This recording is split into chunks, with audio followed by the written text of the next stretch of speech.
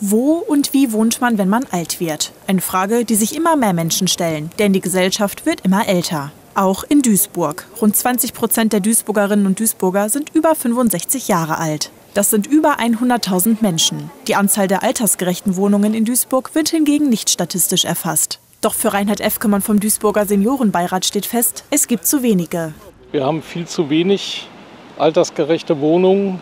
Äh, man spricht mittlerweile von einer grauen Wohnungsnot, die sozusagen wie eine Flutwelle über uns kommt, äh, weil wir eigentlich viel zu wenig haben. Wir haben also circa 25 Prozent Menschen in fast allen Kommunen, die über 60 sind. Mit dem zunehmenden Alter wächst auch der Bedarf nach barrierefreien und altengerechten Wohnungen.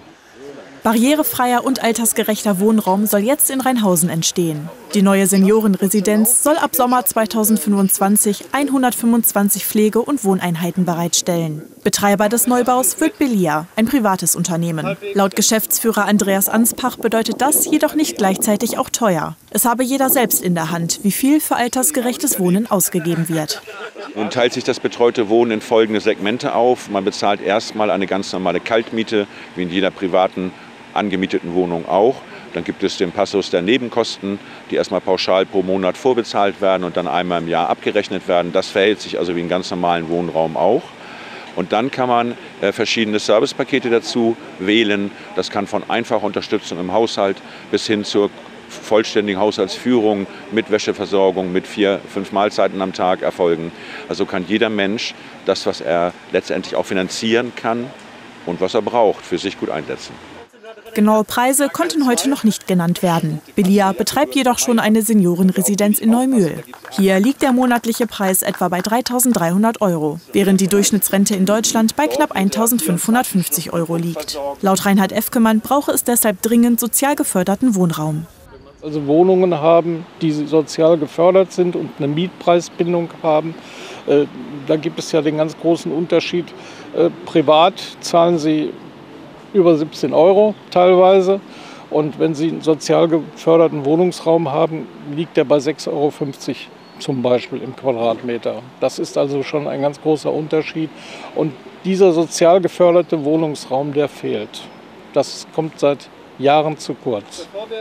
Dass dringend mehr Wohnraum entstehen muss, der seniorengerecht und barrierefrei ist, sieht auch Uwe Pogania-Zeine, Projektleiter der Curios GmbH. Doch alleine könne man die Lücke auf dem Seniorenwohnungsmarkt nicht schließen.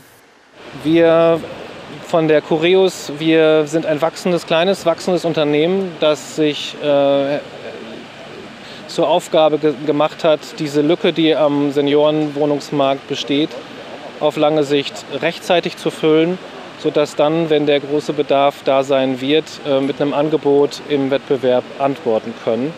Da ist, ähm, da ist eine gewisse Voraussicht dabei, diese, diese Lücke zu füllen. Und wir sehen da einen wachsenden Bedarf, der mit dem, was wir da schon tun, wir sind ein, wir sind ein Unternehmen, das viele Seniorenheime pro Jahr herstellt, noch äh, lange nicht den Bedarf deckt tatsächlich. Ja.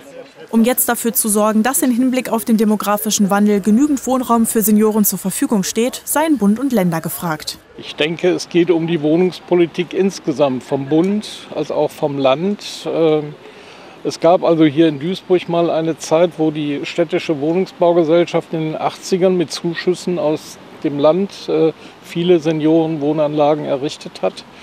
Äh, und das ist eigentlich fast völlig eingeschlafen. Ob in Duisburg noch mehr altersgerechte Wohnungen entstehen, konnte die Stadt bis Redaktionsschluss nicht mitteilen. Doch eins steht fest, wenn nicht entgegengesteuert wird, wird die Lücke auf dem Seniorenwohnungsmarkt immer größer.